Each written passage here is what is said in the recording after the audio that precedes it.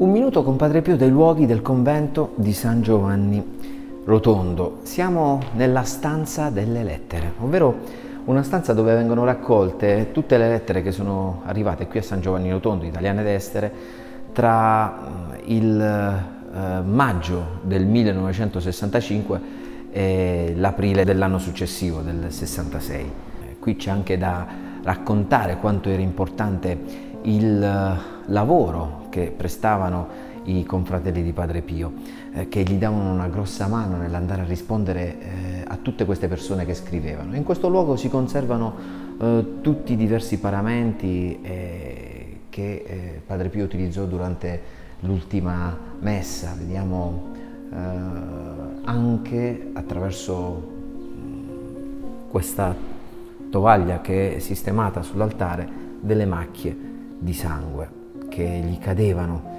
dalla, dalle ferite delle mani.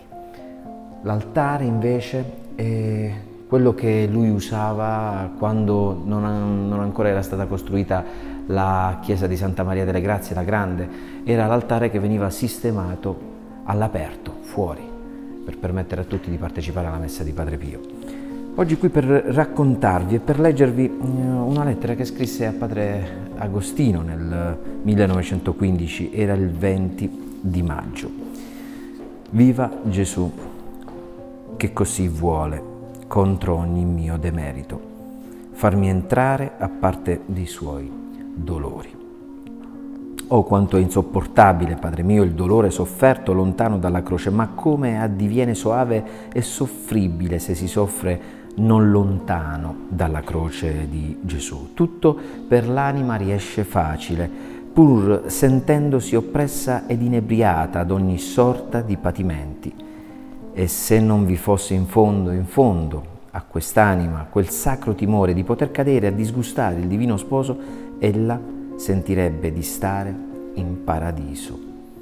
Tanta è la dolcezza che apporta a lei siffatto modo di soffrire. E l'anima, scrive Padre Pio al suo padre spirituale, posta in tale stato, oh quanto è soave nella sua esultanza rivolta al Divin Maestro e dice, sì, o oh Gesù, veramente il tuo gioco è soave e lieve ne è il tuo peso.